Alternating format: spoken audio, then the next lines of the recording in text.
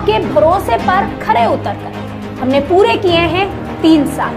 आपका क्षेत्र आपके मुद्दे। हम बने हैं आपकी आवाज़। सटीक खबरें बेबाक अंदाज। आपका अपना न्यूज़ चैनल लाइव टीवी समाचार।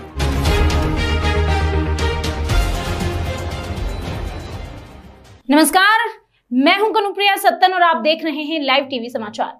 आइए नज़र डालते हैं आज की कुछ खास खबरों खबर बांधा से ट्रैक्टर में 40 लोगों से सवार बाकल की जोगनी से पूजा पाठ करने के बाद वापस आते समय तेज रफ्तार ट्रैक्टर अनियंत्रित होकर खंती में जा पलटा, जिसमें चारों तरफ़ चीख पुकार मच गई। आसपास के ग्रामीणों ने मौके पर पहुंचकर ट्रैक्टर से बाहर निकाला और एंबुलेंस व पुलिस को सूचना दी। एंबुलेंस के माध्यम से सभी घायलों को सीएचसी में भर्ती कराया गया। एक दर्जन गंभीर घायलों को जिला अस्पताल रेफर किया गया। अमलोखर गाँव निवासी श्याम मूरत, पुत्र ओम प्रकाश उम्र पैंतीस वर्ष, ने ट्रैक्टर लेकर बाकल की जोगनी में कन्या भोज का आयोजन कराया था। कन्या भोज कन्या भोज कराने के बाद गाँव वापस जाते समय ओगांसी के पास ट्रैक्टर अनियंत्रित होकर खंती में पलट जाने से 15 से 20 लोग घायल हो गए।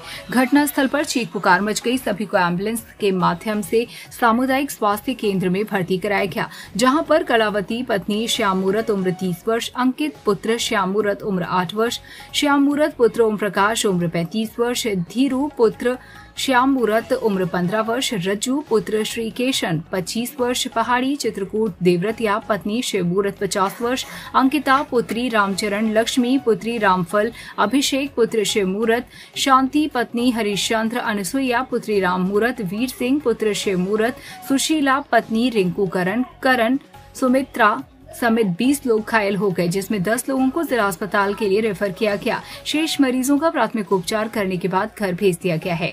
निधु प्रसाद पटेल, लाइव टीवी समाचार, बांदा। दिनांक 10 सितंबर 2022 को मरका थाना क्षेत्र के औगासी पुल के पास दर्शनार्थियों से भरी एक ट्रैक्टर ट्राली पलट जाने के कारण करीब 16 महिला पुरुष बच्चे घायल हो गए थे।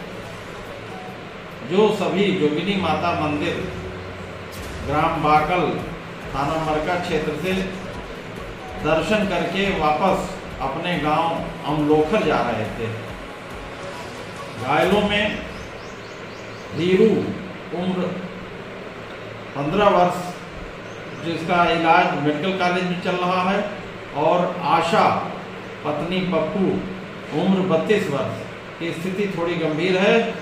जिसका इलाज महिला चिकित्सालय में चल रहा है। शेष पाँच अन्य मामूली रूप से घायलों का इलाज भी मेडिकल कॉलेज में चल रहा है, जबकि अन्य सभी व्यक्तियों को घर रवाना किया जा चुका है।